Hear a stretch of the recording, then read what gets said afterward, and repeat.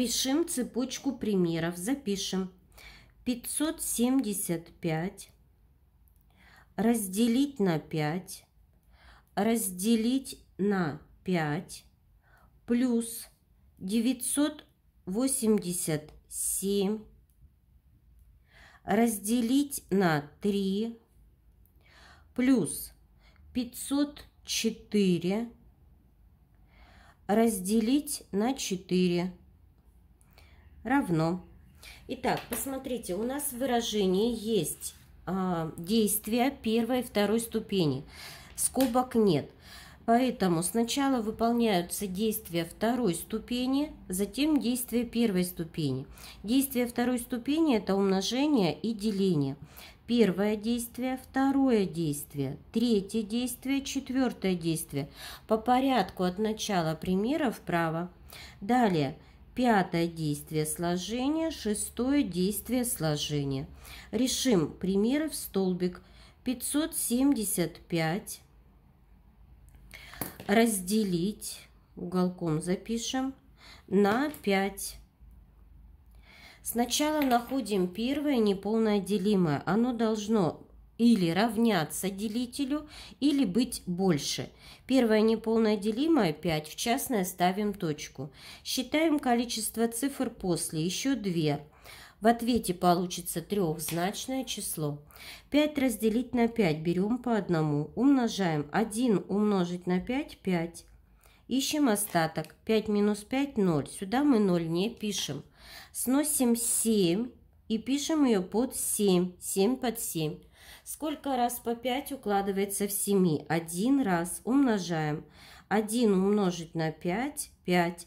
7 минус 5 – остаток 2. Остаток всегда должен быть меньше, чем делитель. И сносим 5 рядом с двойкой. Получилось число 25.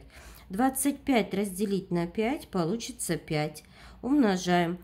5 на 5 – 25. 25 минус 25 – 0. В этом примере получилось 115.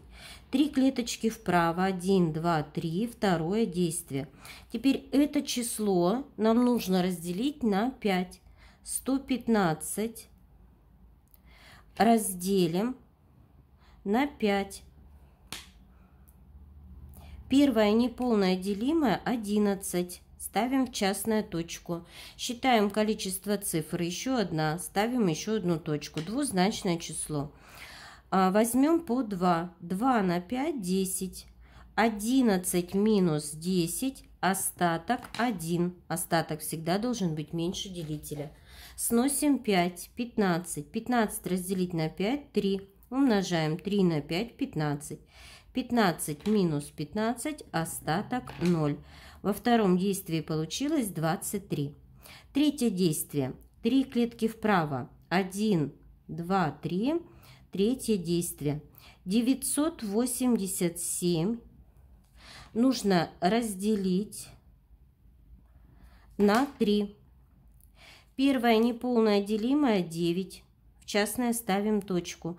Еще есть две цифры. Раз, два. В частном получится трехзначное число. 9 разделить на 3 берем по 3. Умножаем. 9 минус 9 – 0. Остаток сюда не пишем. Сносим 8. 8 разделить на 3 возьмем по 2. 2 умножить на 3 – 6. 8 минус 6 – остаток 2. Остаток всегда должен быть меньше, чем делитель. Сносим 7, 27. 27 разделить на 3 берем по 9. 27 минус 27, остаток 0. Получилось число 329 в третьем действии. Теперь будем решать четвертое действие. 504 нужно разделить на 4. Пишем в столбик 504 разделим на 4. Первое неполное делимое 5. В частное ставим точку. Считаем количество цифр после. Еще 2. 1, 2. Ставим еще 2 точки. В ответе получится трехзначное число. Берем по одному. 1 умножить на 4, 4. Ищем остаток. 5 минус 4, остаток 1. Остаток всегда должен быть меньше делителя. Сносим 0. 10 делим на 4, возьмем по 2. 2 умножить на 4, 8. 10 минус 8, остаток 2. И сносим 4. 24 разделить на 4, берем по 6. 24 минус 24, остаток 0.